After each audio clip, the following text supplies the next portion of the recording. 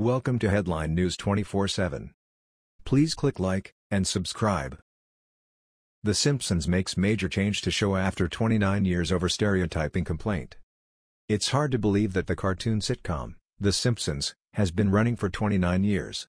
I've always liked the show and millions of Americans love it.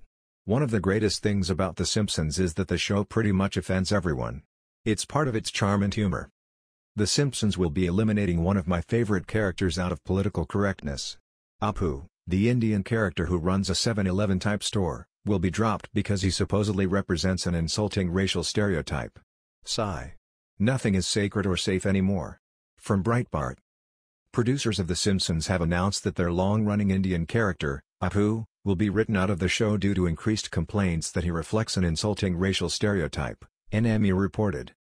The nearly 30-year-old animated sitcom has featured Kwik-e-Mart owner Apu Nahasapima as a wisecracking, and sometimes clueless, father of eight children. Apu first appeared in 1990, early in the series. But criticism has been mounting over the depiction of the character.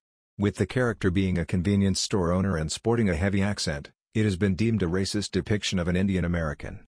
People of Indian heritage have slammed the heavily accented cartoon character for reinforcing stereotypes they insist can lead to bullying and self-loathing. The series has acknowledged that the character has become a problem. Indeed, The Simpsons did make a small attempt to wink and nod at the issue with the Apu character. In the April episode titled, No Good Read Goes Unpunished, one segment dealt with the stereotypes that were once accepted in society but have become problematic today.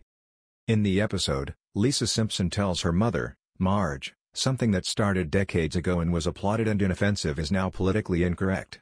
What can you do? As Lisa delivered the line, a framed photo of Apu is seen sitting on a bedstand next to her. But now, that problem is about to disappear into thin air.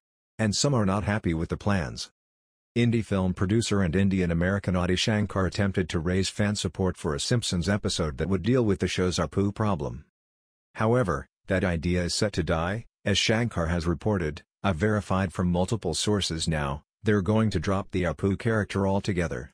They aren't going to make a big deal out of it, or anything like that, but they'll drop him altogether just to avoid the controversy. Shankar, however, says the sudden disappearance of a near 30-year-old character is a mistake.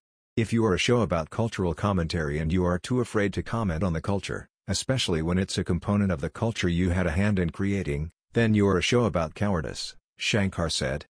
Shankar concluded that just dropping the character without explanation is a step backward for race relations. Some actors on the series have also expressed unease with the Apu character.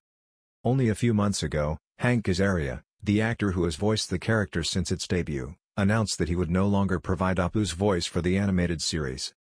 During an April appearance on The Late Show with Stephen Colbert, Azaria said he hoped producers of the series would make a change over the character. I'm perfectly willing and happy to step aside or help transition it into something new.